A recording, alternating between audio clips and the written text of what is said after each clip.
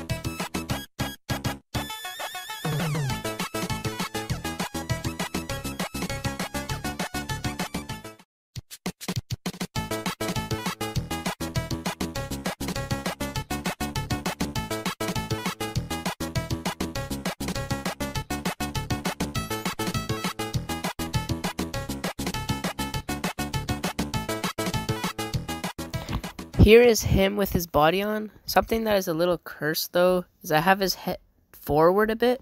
So yeah, that's a bit weird looking from a different angle. Day 4 is also when I gave him some arms.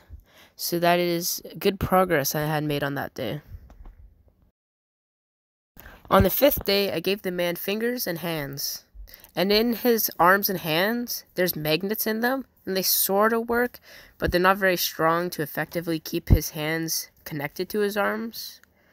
By the way, his fingers have some metal wires in them, so you can actually somewhat bend them.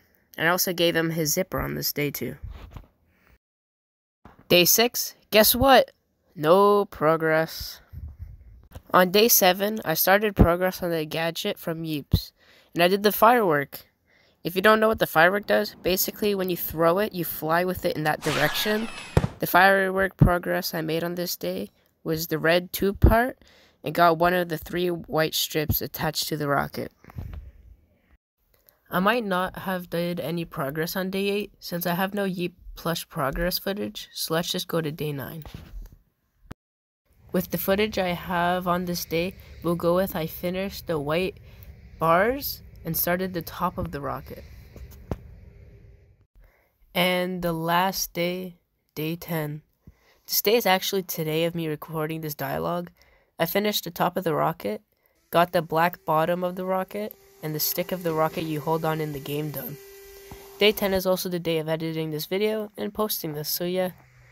Thank you so much for watching. Let me know what you think of this plush I made. And guess what? You might want to keep a lookout in the future because I'm planning to make even more stuff for this little fella.